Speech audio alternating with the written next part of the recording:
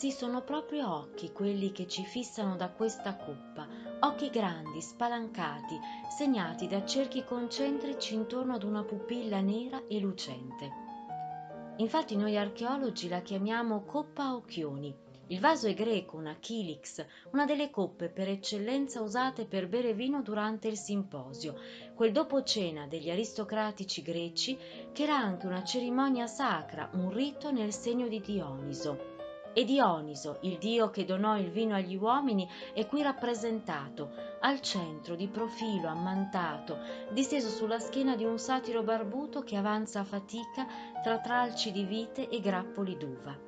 Ma non solo, il dio è accompagnato anche da due menadi impegnati in una danza vivace. Sono tutte le creature selvatiche, ferine invasate del corteo dionisiaco ma ogni particolare richiama Dioniso e il suo mito. Anche i piccoli delfini sotto le anse ricordano la metamorfosi, la trasformazione operata dal dio sui pirati che l'avevano rapito.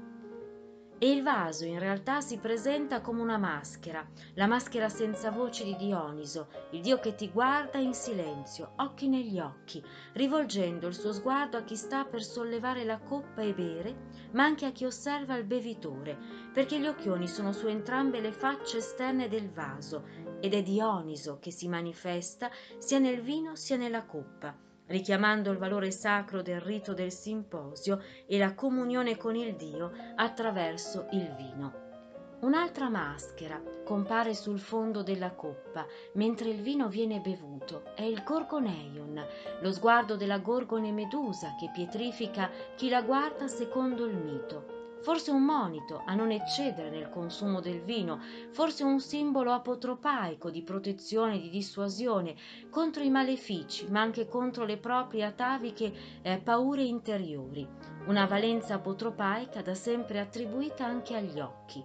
E non è un caso che il filosofo Platone abbia scritto che per vedere se stessi bisogna guardare negli occhi altrui, anche in quelli di una divinità. E questa pregiata coppa in ceramica figure nere di produzione attica è un'importazione che faceva parte del ricco sfarzoso corredo della cosiddetta tomba della regina di Numana Sirolo di fine VI secolo a.C., un corredo composto da una miriade di oggetti che accompagnavano nella morte questa ricca signora Picena come espressione di rango e di potere.